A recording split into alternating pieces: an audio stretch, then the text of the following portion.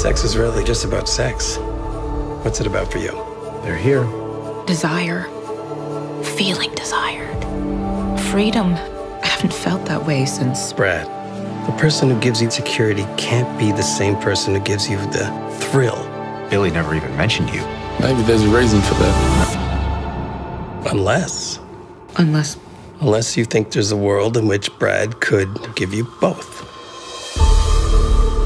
I love my husband. I can't imagine my life without him.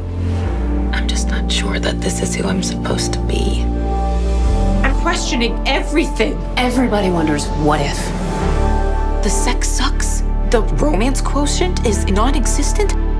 I've been thinking about him. I keep a close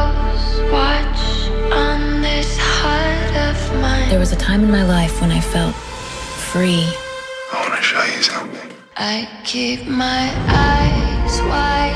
And then one day, I've become this whole other person. I can't help wondering where did that other girl go? I keep the But I can get that feeling again. Every time I close my eyes and go back to one of those nights, I feel it. It's real. And it was a whole other me. I walk the.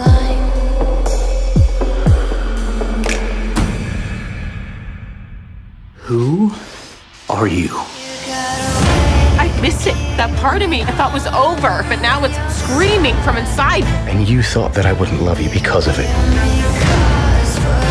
You were playing with fire. I think you're enjoying this way too much. Put down the Brad matches now. I never had the wild experiences you did. I want to have them with you. I've been trying not to think of you for eight years. Tell me you never think about me. Because you're mine. What are you gonna do? I don't know.